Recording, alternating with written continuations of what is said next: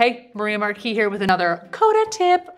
So if you're working with files, you can attach them to Coda Docs, which makes it easy to find them, easy to work with them, and easy to download.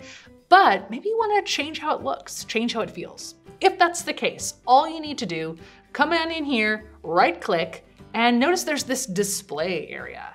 So I could say, oh, I want this to be uh, an inline view. Or you know what, I really wanna see this as like text, right? So I could go ahead and right click, change the display to be the title.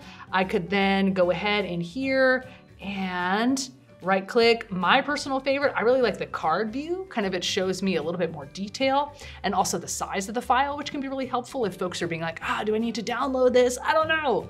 And then lastly, you can go ahead and choose to display as an embed. And now this pulls the whole file in here. I can page through, I can zoom in, right? Just like you would anywhere else. So this allows you to bring all the files that you work with together where the actual work gets done, which we all know is Coda. So right click and start playing around. Coda tips.